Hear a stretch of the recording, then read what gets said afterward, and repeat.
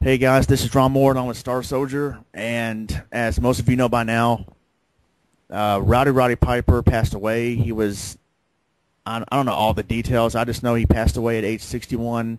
I think of natural causes. He might have been found at his home. I'm not sure, but um, I, I, I heard, a it was uh, cardiac arrest. Yeah, I did. I did hear that too. A heart attack. Um, and I, I think I also heard, read somewhere someone had posted on Facebook that he was supposed to host a podcast today. I think, and the, his his his guest, I don't know who it was, had tweeted saying, "Well, I'm not sure what's going on, but Piper did not show up." Uh, or Piper, Piper might have been a guest. I don't know on some podcast, and they didn't show up, and then then we find out he passed away. I think TMZ might have broke the story. Then PW Insider had reported it. They said that TMZ was reporting it, and then about an hour later, WWE.com confirmed it. And Oh, uh, yeah, one month after Dusty Rhodes passed away, another childhood favorite of mine is gone. And I mean, you know, too many of my childhood favorites are passing away, and I, I know that happens. You know, people die, but uh, as a wrestling fan, you you know me in particular, I, you know Piper passed away today. Before that, Dusty Rhodes, the Warrior last year, Paul Bearer before that, and uh, I know there's other uh, wrestlers that passed away, but that was like during my childhood, which still uh, during my childhood, teenage years that like passed away, like Brian Pillman, Kerry Von Erich. But as an adult, um, it- it- it- seeing all these wrestlers passing away, you know, like you know, it's another part of my childhood uh, gone. Well, not gone. You can still watch them and on on the network or YouTube or whatever. But I talked to Venom Twenty Two today about that briefly, and he said, "Yeah, man, um, you know, our childhood, you know, part of our childhood keeps dying because you know all these legendary wrestlers are gone, and that's you know a part of our childhood, and is passing away with them because, I mean, you know, they really meant a lot to us uh, when we were kids and teenagers, and and also it, the whole thing is just sad in general because they have families and and uh, you know it's it's just tough these, and these people entertain millions throughout the world. They made event at like stadiums. They were like huge names in their industry, and to see them go away at sometimes at like a young age, at 61, that's really not not that old. yeah, Dusty Rhodes is 69, Flair is Yeah. 66 right now, and I mean, um, and Hogan's like 61, and um, but a lot of wrestlers have died young. At least Piper made it to 60. I, I remember in his uh, Born to Controversy DVD, he said, "Let's face it, man, I'm not going to live to be 60." well, he did, but uh, you know, he made it to 61. At least he made it to where he didn't think he was going to make it. He did battle cancer, I think, a while back, Yeah. and he overcame it. I And re- think that was the reason why he had to drop the WWF Tag Team Championship with Flair is that, yeah, he is having some more health issues. Yeah. And so yeah, man, it's real sad. And Roddy Piper was as a kid, I didn't like him too much, really. But as I got older, I, to hate him. he well, was a yeah, great I mean, no, yeah. Well, well, no, I, I, uh, I'm talking about when he was a good guy. I just still didn't like him. I thought, you know, being a kid, you have a diff- different perspective. Um, Yeah. as a kid, and when I was a kid, I mean, you know, I liked Hulk Hogan, the Ultimate Warrior. Uh, and I I don't mean to be disrespectful to those guys, but they couldn't really wrestle. But it was the character that they portrayed that really drew me uh, into watching them and, and cheering for them. And um, I mean, and so those two, Macho Man, who could wrestle, uh, I loved him. You know, it, I mainly cheered for the good guys. A few bad guys I did cheer for, but and for some reason I just did not like Roddy Piper. Uh, I I remember he was going to face Ravishing Rick Rude, and I was like, man, Rude's going to kill him because Rick Rude really was an awesome wrestler, and Piper I wasn't really familiar with his 1985 you know, WrestleMania debut, or uh, he was not debut, but you know he was in the first main event of the first, uh, you know the Yeah, uh, the he was first in WrestleMania.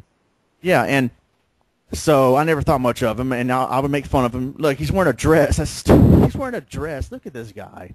And my friends are like, it's a, it's a kilt. I go, it's Yeah, a dress. it's- Look at it. What a sissy. He's Scottish. but yeah. yeah, No but, offense to you know- no offense to Scottish people out there, of course. Yeah, and but I started to grow to like him, and uh, especially when he made. Uh, it was funny when he made Brother Love come out in a big diaper and pacifier. That was freaking hilarious. And and then he w- uh, you see he uh, he had that match with Goldust, uh, the Hollywood backlot brawl with O.J. Simpson footage Yeah. and that was good stuff. And I started to really dig Piper. I said, man, this guy's legit. And you know, then I started. Then he went to WCW to feud with Hogan and the NWO, and that's when I really became like a fanboy of Piper, because I was so anti NWO at the time. I hated the NWO. I hated Hogan for turning his back on his fans, and and Piper came in and he beat him in that match at Starcade '96. That was good stuff. And so as I got older, I started to really cheer for Piper and appreciate him more, and then I started to learn what kind of a legend he really is and how how controversial he really was, how much he really meant to the business. And Yeah, so I remember way back in like the first WrestleMania that was huge. The fact that he main evented with Paul Orndorff, you know, to go up against Mr. T and Hulk Hogan. I yeah, here is Mr. T, a huge Hollywood actor, breaking into the wrestling business, and Piper had like this cool story that he didn't want this Hollywood phony coming into our business, you know, wrecking it up, thinking he's a big shot, thinking he's going to out wrestle us professional wrestlers. And that's a good way to advertise a match. That's a way a good advertise a feud. It felt real. And yeah, there were some people backstage that legitimately didn't like getting all this attention. So Piper Yeah. was a voice of the people backstage, like wrestlers that weren't in the main event, so to speak. yeah, he was the voice of the voiceless bef- way before CM Punk, Mhm. and He was rowdy before it was cool. yeah, before uh, and was yeah, yeah, he was definitely he he wasn't like this big, you know, six foot seven, overly buff wrestler. No, he was just a brawler. He was six foot one, two hundred thirty pounds. You know, back then, you know, nothing too fancy, but man, could he cut a promo, and man, could he fight. Yeah. And like, just when you think you have all the answers, I change the question. and his uh, WrestleMania 8 match for Bret Hart for the Intercontinental title. Um, yeah, very the classic promo, match. the promo he had, like, they were standing there, Mean Gene Okerlund was, was interviewing both of them. Piper goes, ah, he, he says something like, oh, you know, no Bret Hart since we were kids. you know, I took over his house, and you know, and Mrs. Hart would fix us a bologna sandwich. of course, she only put one piece of bologna in there, but ah, it doesn't matter. I was hungry. And then we would sh- tie our shoes, and of course his shoes are tied together. But ah, we all got our problems. And then, of course, he wasn't potty trained. He was seven, but ah, it's okay. and and you know he he was so funny. And he one time he he uh, talked bad about Vader, saying somebody should tell Vader that that's not where the jock strap goes. so yeah, Piper was hilarious and great promo, and of course we remember the famous or infamous, however you want to look at it, coconut to the head, Jimmy Snuka Yeah. and uh, you know he he was one I also kind of uh, instigated Hogan to accept Andre the Giant's challenge and Piper's Pit. And Piper's Pit, those segments in Piper's Pit with Bruno Sammartino, Hulk Hogan, Andre the Giant, Stone Cold at WrestleMania. What was it, 21? Piper goes, "Welcome to Piper's Pit," and slapped the taste out of Stone Cold's mouth. And then Stone Cold slapped him back, and that was good stuff. And yeah, man. Uh, Yeah, he- and of course, go ahead. Yeah, he did an important thing. He didn't just show that the business uh, isn't all about wrestling. It's kind of promos. It's doing great interviews. It's getting people excited for a match. Yeah. You know, you can Yeah. have like all the wrestling ability in the world, but sometimes that's not enough. Sometimes you gotta give that little bit extra and really sell what the people want you, you know, Yeah. what do you want people to buy and all that. And Piper was a great actor as well. I haven't seen all of his movies, but uh, the, my favorite one he was in was They Live. Oh yeah, classic. And he walks into that bank with a shotgun and says, "I have come here to chew bubblegum and kick ass." and I'm all out of bubblegum. Bubblegum. and the fight scene famous with him line and stolen by Duke Nukem. do what? A famous line stolen by Duke Nukem, of course. Oh yeah, yeah, that's true. and then the fight scene in that movie with him and uh, I don't know the actor's name, the other his partner in the movie. The epic fight scene that lasted a while and, and trying to make him put on the sunglasses. Put them on. Fighting in that alley, and that was good stuff. And um, I remember his appearance in Walker Texas Ranger as Cody the Crusader or something. That was a good episode, Roddy Piper. And yeah, man. I mean, uh, my friend Seth had met him and got his autograph, and yeah, man, Roddy Piper was just uh, he was so awesome. I wish I would have met him.